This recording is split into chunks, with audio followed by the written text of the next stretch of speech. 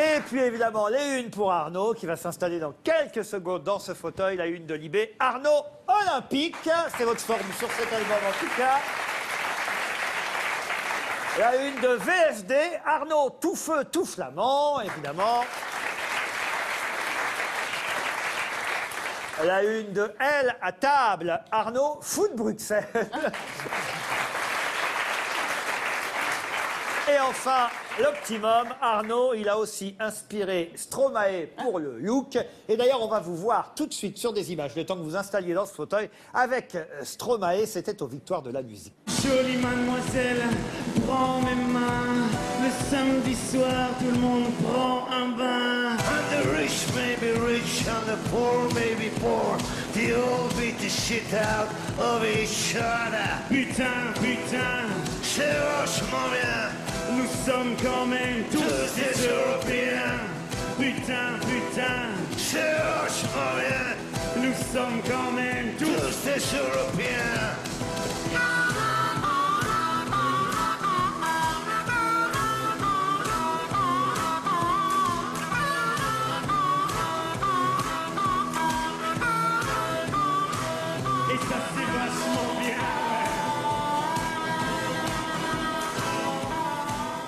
Arnaud et Stromae.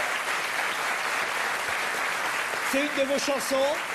Ça vous fait plaisir qu'un petit jeune de la nouvelle génération de la chanson francophone, il est belge mais adopté chez nous par les Français et, et, et ô combien, puisqu'on l'aime beaucoup, euh, que lui euh, reprenne vos chansons, ça vous fait plaisir Arnaud? Ouais, ouais, Ouais. ouais. Et, et vous le côtoyez de temps en temps, et vous buvez des coups ensemble, il paraît? Oui, on mange ensemble et on boit de temps en temps des trucs. oui. Cette chanson, putain putain, c'est un bon choix de sa part Bah, j'ai écrit cette chanson, oh, c'était euh, c'était avant Coca Light, avant Coca Zero. c'était euh, Ah, C'est pas mal, il y en a qui avant ou après Jésus-Christ, vous c'est après ou avant Coca Light ouais, je pense comme ça. Mais vous avez raison. Et euh, j'ai écrit ça à 81. Donc on est en 12 avant Coca Light à peu près Bon, situé sur le calendrier. C'était euh, ouais, Et par rapport au Chirico, qu'on est en moins combien? Mais le whisky, je bois pas le whisky. Non, c'est une marque de coca. Donc- Parlons de vos chansons actuelles, cher Arnaud, avec cette, euh, cet album, nouvel album, solo, hein, parce qu'il faut rappeler que vous avez commencé votre carrière euh, euh, en groupe, même si évidemment vous continuez à travailler avec des compositeurs. Vous, vous écrivez toujours les paroles, mais vous faites aider pour la musique? Oui, je fais ça aussi, oui, de la musique aussi. Oui. Mais là, il y a quand même quelques copains musiciens qui vous ont aidé à composer. Oui, oui, oui. Musicalement, on a fait ça à deux tout, toujours, oui. Mais avant tout, dans le but de monter sur scène, je vous l'ai dit et rappelé tout à l'heure, vous avez confirmé, vous dites, quand je fais des concerts, le rapport entre le public et moi, c'est un rapport d'amour. On fait l'amour ensemble, vous dites, je jouis pendant deux heures. Ouais. C'est long. Oui, mais c'est pour ça que je suis encore en vie. Et oui. Grâce à la chanson et à la Ouais, et quand je fais des concerts, c'est un truc entre euh, le public et les musiciens, quoi. Nous, quoi, sur scène. Et on joue, c'est un bazar ensemble, quoi.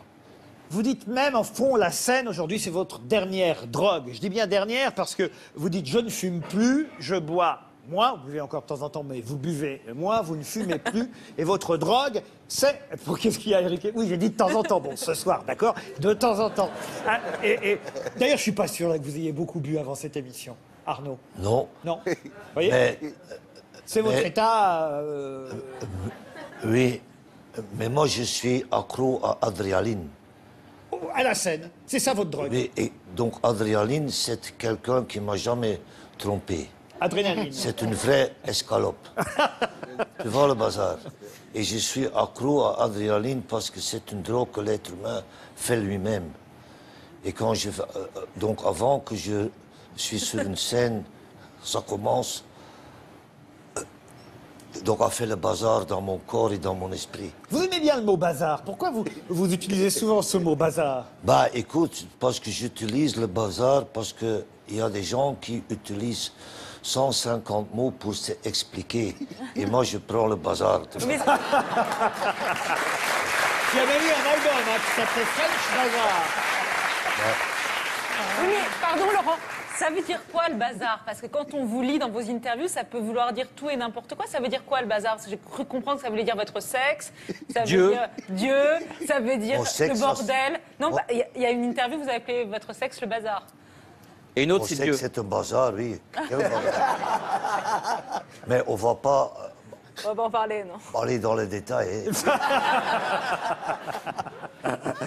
En tout cas, Moi, je suis né à cause d'un bazar. ah oui, c'est vrai. Et- et- et- Vous connaissez Ouais. le Big Bazar de, de Michel Fugain? Vous et êtes. Michel. F- Le Big Bazar. Non, rien oubliez. En revanche, il a eu un album, je ne sais pas si on l'a en régie, mais il y a eu un album d'Arnaud qui s'appelait euh, French euh, Bazaar. Ouais. Euh, un mot justement sur ces mots anglais que vous utilisez parfois, français en fonction des chansons, en fonction des rythmes. Vous êtes plus anglais quand vous chantez des chansons plus rock'n'roll, parce que ça implique de chanter en anglais à ce moment-là? Mais moi, j'ai des racines anglais-français. Par exemple, ma grand-mère, son père, c'est un anglais et sa mère, une française. OK. Et mon père, à côté de, mon, c'est à côté de ma mère. Et mon père, il a vécu pendant la guerre à l'Angleterre parce que mon grand-père, donc c'était les réfugiés quand les Allemands, les nazis sont rentrés en Belgique. Mon grand-père, c'était un gauchiste. Il était sur le truc de nazis. Sur le... Là, c'est le bazar, là. Et mon- ça, c'est un vrai bazar, oui. il, il a dû fuir, il a dû fuir la Il a Belgique. dû fuir avec un bateau d'Ostende. de- Donc, ils ont décidé en 30 minutes, bouffe, aller à l'Angleterre. Et mon père, il a vécu, il a fait son service militaire là-bas. Et j'ai des enfants avec une Française aussi. Ouais, alors ça c'est intéressant. Quand on vous demande, j'ai vu ça dans une interview, vous m'avez beaucoup fait rire d'ailleurs, quand on vous demande combien vous avez d'enfants, vous répondez assez. alors, est-ce que vous répondez assez parce que vous trouvez que c'est vraiment assez ou c'est parce que vous ne vous souvenez pas combien exactement? Non, je sais combien d'enfants que j'ai, quoi. Mais c'est assez. Et c'est pour moi, ça. Mais oui. Assez. mais j'ai pas, j'ai pas coupé mon bazar. hein. J'ai bien compris. C'est- J'ai bien je- compris. je- mais je veux plus des enfants. Non, vous en avez assez. Parce que ce sont des enfants qui font des enfants. Tu vois le bazar. Ah ben ça, ça, ça, ça- ah ben, ça, vous avez raison. Quand je vois moi-même dire allez, allez, circuler, il dit Est-ce que vous êtes grand-père Arnaud aujourd'hui? Non. Pas encore. Bah, on sait jamais dans, on sait jamais. J'ai dit tout est possible dans les films de cowboy. Ah ben tiens, justement, avant que je donne la parole à Léa et à Yann, vous êtes à l'affiche d'un film qui va sortir là, euh, début euh, février. Vous jouez un papa, justement. Un papa qui soutient son fils dans une réunion euh, familiale qui va tourner à la crise, tout simplement parce que sa sœur elle-même annonce qu'elle est enceinte, qu'elle attend un bébé. La maman, votre épouse, c'est Nathalie Baye. C'est pas mal d'avoir Nathalie Baye comme épouse, quand même. Elle est, elle est très sympa. Le film s'appelle Préjudice, ça sort le 3 février. Mais Cédric, qu'est-ce que tu fais là? Tu veux pas dire bonjour? En tout cas, je t'interdis d'attendre le dessert pour annoncer ta nouvelle. Bon bah moi j'en peux plus. Hein. Tiens maman. Oh ma chérie Je suis tellement contente. Une maman a trois enfants et deux pommes. Cédric, je t'interdis. Comment fait-elle pour donner la même chose à chaque enfant sans en punir un Putain c'est parti. Lâche-le Cédric, tu arrêtes T'es complètement con, hein Sur le terrain, je t'ai vu lui parler. Tu le mets quoi dans la tête au juste? Que tout va bien? Il peut tout se permettre? C'est pas de notre faute si t'es comme ça. T'es pas normal. T'es différent. T'es chiant. Stop maintenant La vérité n'est pas toujours comme tu l'imagines, tu le sais bien.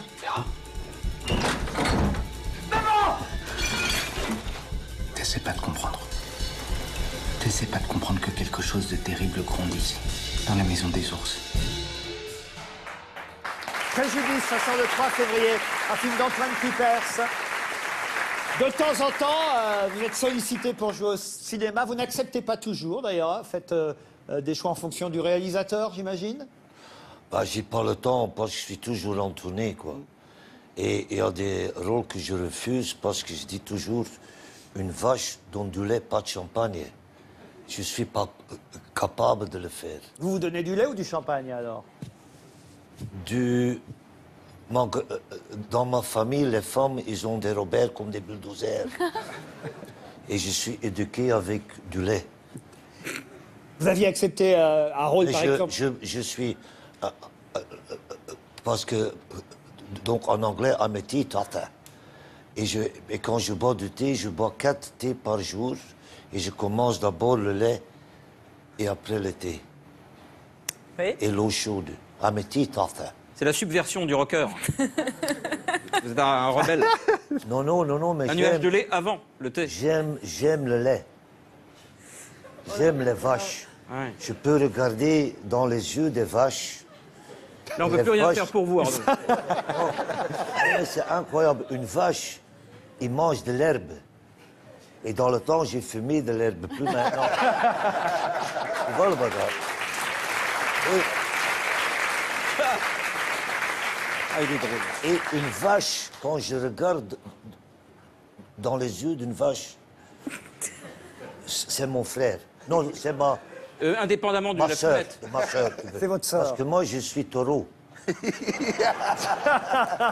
De temps en temps, vous vous foutez de notre gueule, avouez. Hein Oh, pas du tout.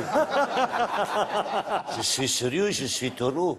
Je suis, Oui. je suis le 21 mai, Oui. Ah Ah, ça, bah. je, je n'en doute pas. à 1h du matin dans un taxi. un Laurent, mot, je Laurent. parlais cinéma et je donne la parole tout de suite à, à Yann et à Léa. Euh, vous aviez accepté, par exemple, entre autres euh, films importants dans votre filmographie, le film de Samuel Benchetrit, euh, J'ai toujours rêvé d'être un, un gangster. Ça, c'est un, un- un beau souvenir. Oui, avec euh, Alain, oui. Oui. Ouais. Avec Alain Bachung. Ouais, donc je me souviens encore, j'ai lu, donc je connais le scénario par cœur et pendant le tournage, le réalisateur dit oublie tout. Et j'ai oublie tout. Et on a fait tout, En improvisant. oui. Alors que vous étiez emmerdé à apprendre le texte. Ah bah avant c'est du boulot. hein. Léa et Yann. Je, je voudrais dire que vous êtes un. On va parler de la musique dans un instant, mais moi j'ai vu le film Préjudice. que- qui sort la semaine prochaine, euh, que vous avez joué avec Nathalie Baye, et vous êtes aussi un excellent act- acteur. Vous avez une présence, une grâce, il y a quelque chose de très habité dans ce film, d'ailleurs, qui est un très bon film, une espèce de festen par un jeune, euh, par un jeune réalisateur belge, je crois, c'est ça Euh, C'est un très bon film. Et voyez, les gens comme vous, en fait, quand ils ont la grâce, comme vous, en fait, on leur pardonne tout. C'est Michel Piccoli qui parle le mieux de vous. Il dit, en parlant d'Arnaud, il dit c'est un spécimen rare, il a la générosité de la séduction, le chaos du lyrisme, la liberté du débordement. Et c'est vrai que ça déborde, ça dérape toujours avec vous, vous êtes toujours au bord de tout. Alors moi j'achète tout, j'achète l'absurde, j'achète les réponses surréalistes ce soir, tous les soirs d'ailleurs, à chaque interview.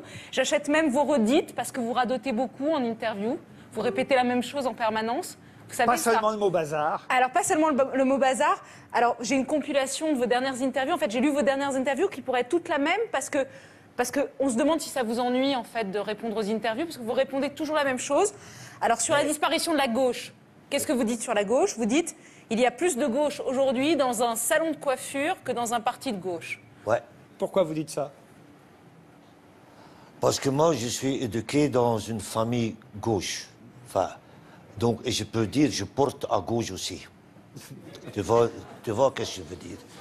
Mais je suis pas, je suis pas gauche ni droite. Je suis un voyeur.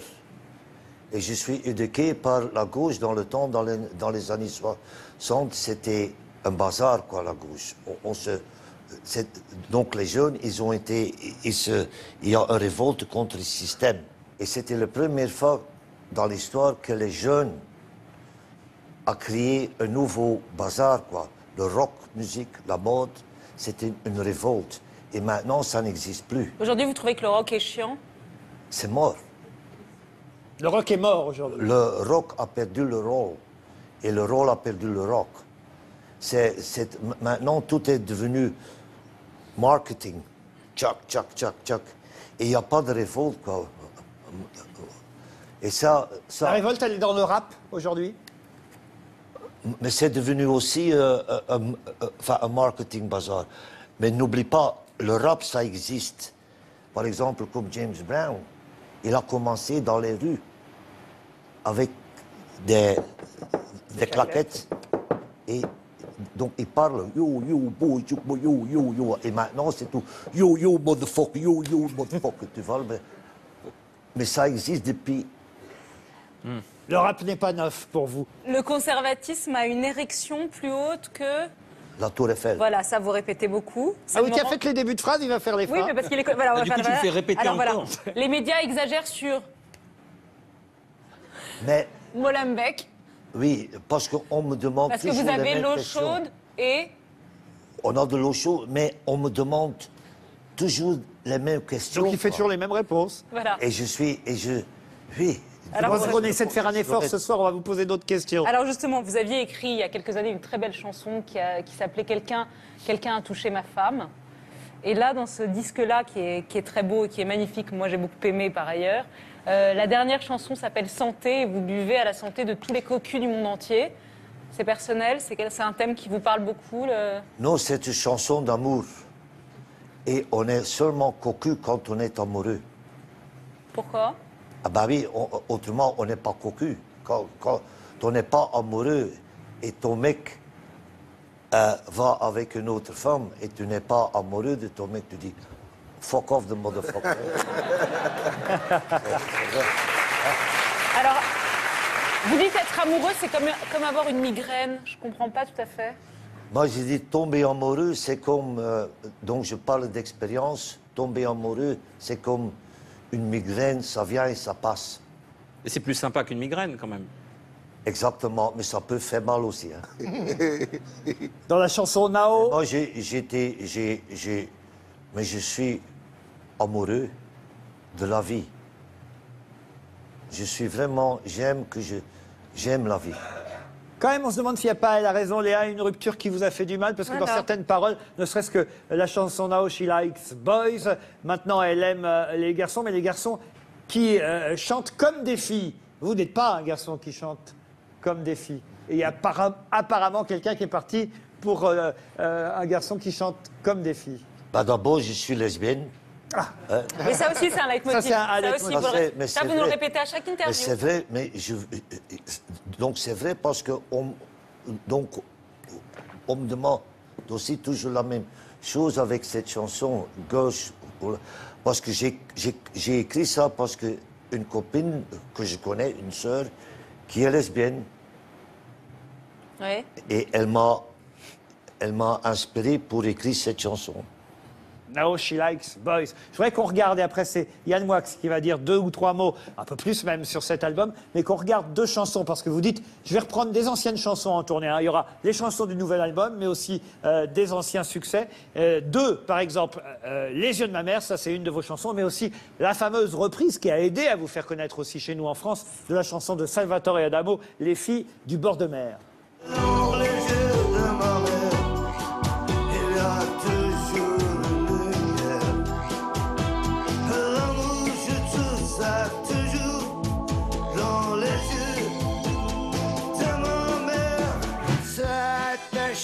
Chouette, les filles du bord de mer. Chouette,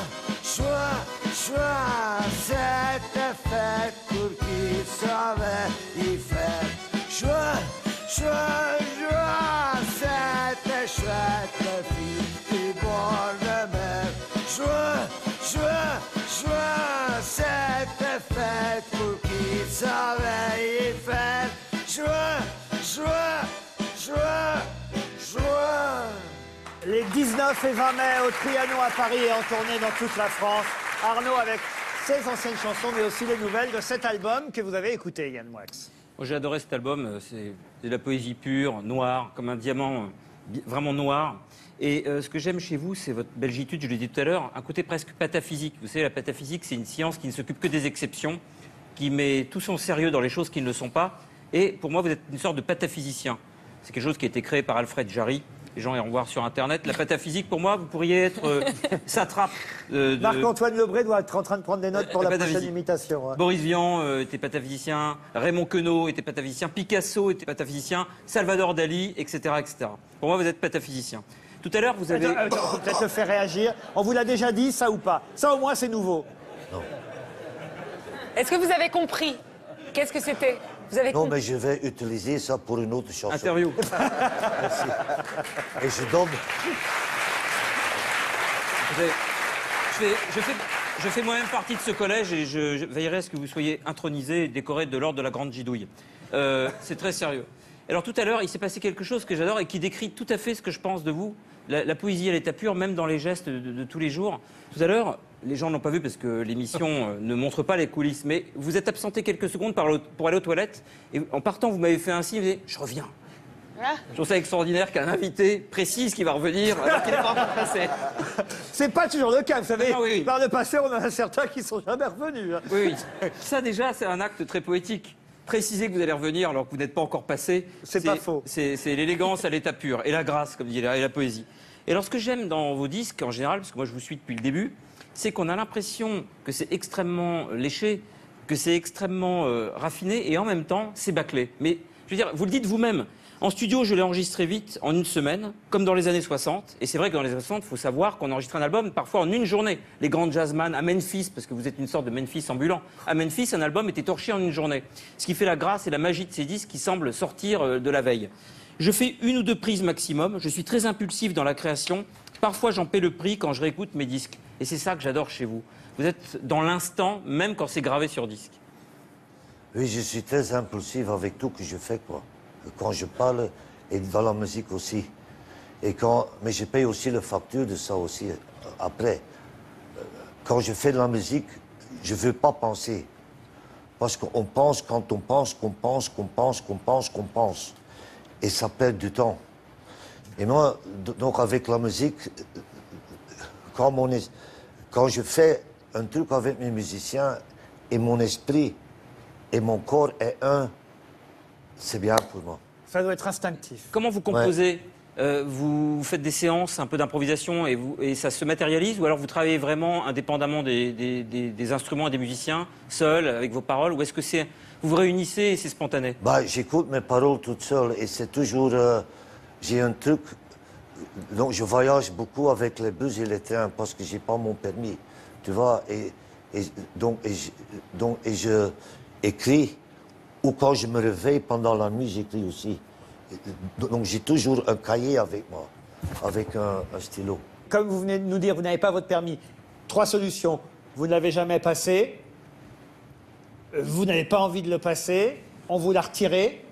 Non, non, c'est euh, dans le temps, dans le temps, je peux avoir mon permis à, à 18 ans pour rien, sans examen. Ah oui? Donc moi, j'étais pas intéressé à une voiture. Le luxe, ça m'intéresse pas. Et c'est pour ça que je vis encore que j'ai pas une voiture. Et c'est très dangereux d'autres vivent pour des encore autres. aussi, peut-être. Et pour les autres aussi. Si, oui. Mais j'ai Éric pas, pas euh, une voiture, c'est donc je peux donc moi avec moi Eric, Et il faut préciser qu'en Belgique, jusqu'en 2002, il suffisait d'acheter une voiture pour recevoir le permis de conduire. c'est ce que j'ai cru comprendre. Ah, c'est automatique. Moi, j'ai des amis qui conduisent. euh, j'ai enfin compris pourquoi. Dernier mot, Yann. Euh, oui, dernier mot. Euh, ah oui, j'aime bien le I'm just an old motherfucker parce que c'est du rap à l'envers. Dans le jeunisme ambiant, euh, le, mot- le mot motherfucker avec le mot vieux dedans, j'ai trouvé ça extraordinaire. Euh, tout à l'heure, vous, vous conchilliez euh, la société un peu euh, euh, de marché. Et Régis Debray a dit dans une interview dans Libération cette semaine, ou dans Le Monde, dans le monde pardon, la séparation de l'État avec la nouvelle religion de l'entreprise et du marché, qui a ses clercs et ses textes sacrés, ne serait pas mal venue non plus. Est-ce que vous croyez qu'on vit dans une société, vous parliez tout à l'heure de marketing, où tout est formaté? On reçoit ici souvent des, chanteurs et des chanteuses, on a l'impression que c'est toujours le même album qui est décliné, il n'y a que la voix qui change. Et vous, vous êtes arraché à ça. Quel est votre secret pour arracher à- au dieu du marché. Prendre le risque de ne pas vendre, par exemple. ma grand-mère elle m'a dit toujours Arnaud il faut pas être comme des autres. Reste soi-même. Autrement tu Ça, vas c'est réussi. Hein. oui. Ah bah, euh, donc grâce à grand-mère euh, et ma mère ils ont dit ça moi parce que je suis éduqué par des femmes. C'est très bizarre. Ils ont dit reste toi-même. Autrement il faut travailler. Vous dites, je n'ai jamais fumé un joint tout seul. Dans Non. les années 60 et 70, c'était quelque chose de collectif. Alors qu'aujourd'hui, c'est une autre drogue, c'est la drogue des réseaux sociaux. Euh, euh, ça vous amuse ou vous énerve de voir tous ces jeunes sur leurs écrans, sur Facebook. Vous dites, tout le monde est sur Facebook pour aller raconter quand est-ce qu'on fait pipi ou qu'on fait caca. Quel est l'intérêt? Exactement. Ma- non, donc j'ai un truc dans ma tête maintenant, notre société aujourd'hui, je vois une famille, père, mère, fils, fille, ils ont devant leur laptop ils communiquent avec le monde entier, mais pas entre eux. Et je trouve ça très bizarre. J'aime.